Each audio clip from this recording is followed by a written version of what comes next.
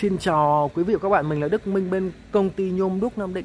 Hôm nay thì mình sẽ làm một cái à, video để à, so sánh giữa cái cổng nhôm đúc và một cái cổng sắt. Thì nó có những cái điểm khác nhau như nào và giá thành ra làm sao?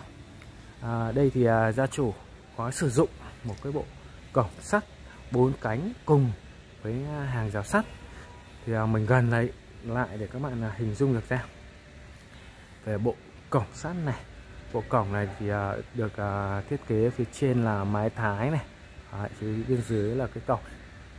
Cái này thì thường thường là được thiết kế chủ yếu bằng những họa tiết thẳng của các cái cái thanh.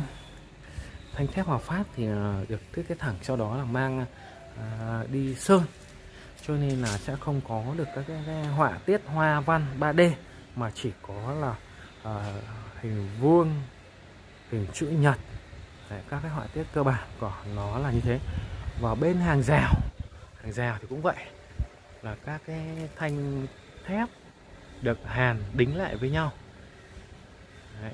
À, còn à, qua bên đó qua bên đây thì mình sẽ sẽ cho các bạn xem một cái bộ cổng nhôm đúc bộ cầu nhôm đúc thì ờ, các cái họa tiết của nó được thiết kế 3D từ cổng cho đến cái hàng rào là được ờ, thiết kế 3D nổi họa tiết nổi. Đây. nổi. Các cái họa tiết rất là đẹp. À, về cái màu cũng vậy. Màu thì được che xí là màu vàng ở đây. Trên một cái ờ, nền đen sần. Trên này. Được thiết kế con ờ, sư tử trộn trệ ngồi bên trên mũ vua. Đấy. và đây là cái hàng rào hàng rào cũng vậy. Cũng ờ, được đúc theo 3D cho nên là rất là sắc nét. Đấy là về mình phân tích về cái yếu tố về độ um, mỹ thuật của sản phẩm. Thì rõ ràng là cái sản phẩm của uh, nhung đúc thì nó sẽ um, đẹp hơn rất là nhiều lần so với một bộ cổng sắt rồi Đấy.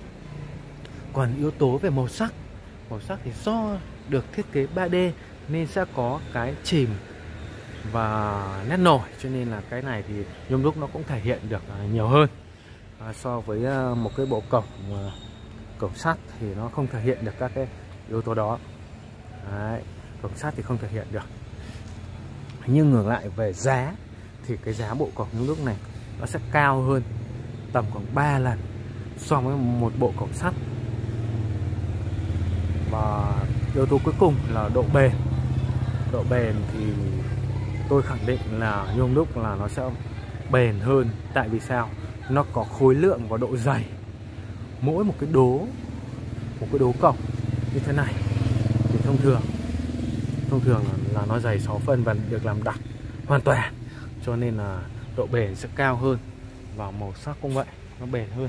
Còn cái bộ cổng mà bằng sắt thì là thường thường nó là các hộp sắt rỗng bên trong nó chỉ có độ dày là một ly đến một ly hai thôi.